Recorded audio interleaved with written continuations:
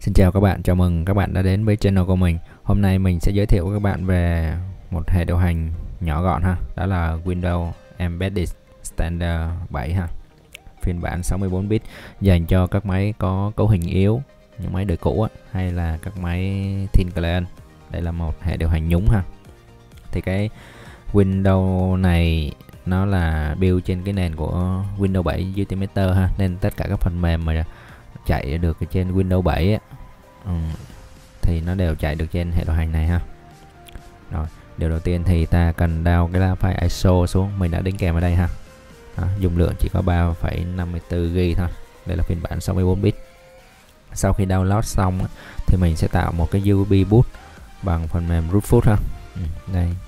Thì mình uh, sẽ hướng dẫn một cái video tạo ừ, um, USB boot khác ha. Rồi sau khi tạo xong thì ta bắt đầu cắm vào máy và bút bằng USB này để tiến hành cài đặt Windows Embedded 7 nha. Ok.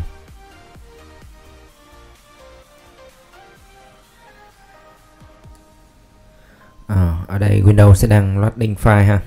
Ta hãy đợi một xíu.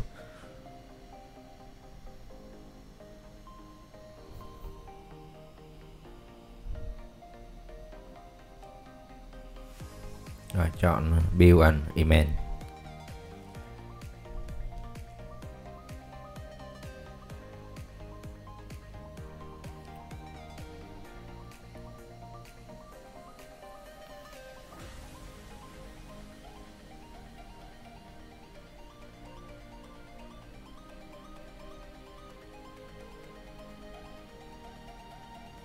rồi chấp nhận. Next ta chọn thin clean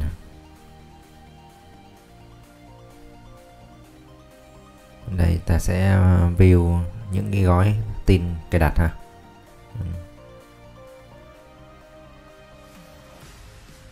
Đó, đây những gói tin nó sẽ cài đặt trong này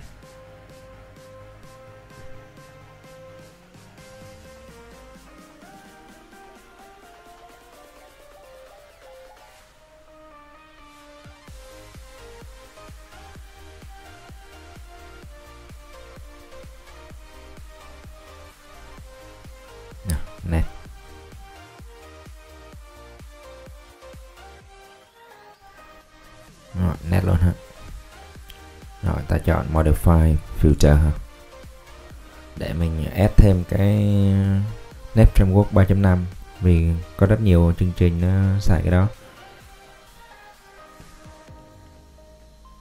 Rồi, chọn nét framework. Rồi, tích vào nét framework 3.0 và 3.5 hết luôn ha rồi, click vào receiver dependent ha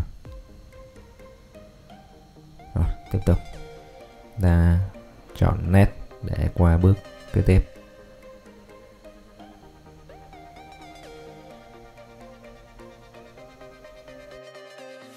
Chọn ổ đĩa nét. Rồi Windows nó sẽ tiến hành expand file ra và cài đặt.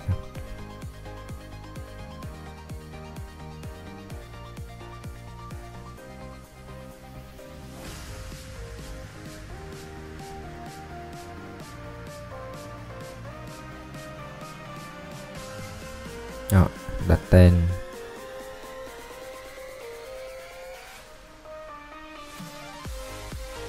Rồi, bắt buộc.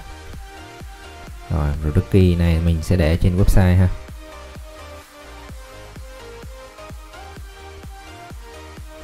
Ở đây ta có thể nhập vào hoặc là sau này ta add vào cũng được. Next.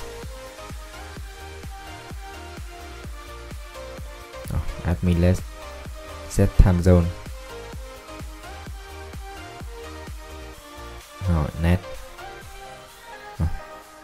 Chọn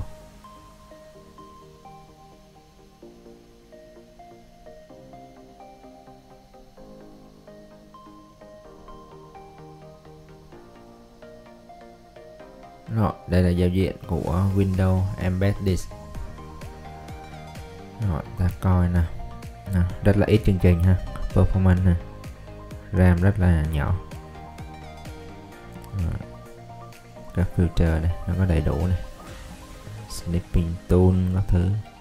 Remote desktop có hết ha nói chung là không thiếu cái gì.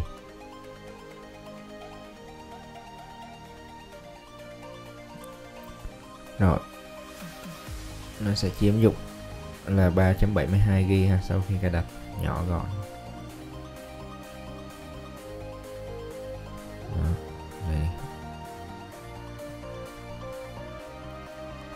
Hệ điều hành 64 bit này.